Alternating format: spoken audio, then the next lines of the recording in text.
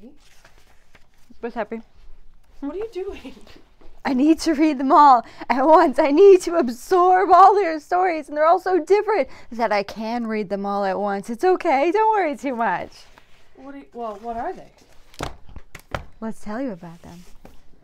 From Dust a Flame by Rebecca Podos is a fun filled fantasy about superstition and folklore, and this one happens to be uniquely Jewish as well. It ventures into daunting but fascinating territory. It commands your attention from beginning to end. Ours happened to be signed by her. Fantastic, even better.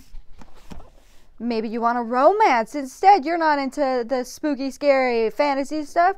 Eight Nights of Flirting is the perfect one from you. Sparks are going to fly. Or maybe you want the one that we're recommending, The Life and Crimes of Hoodie Rosen, which happens to be long listed this year for the National Book Award, even. So you have that on top of the fact that we think it's fantastic. Come on in and we'll tell you more about it.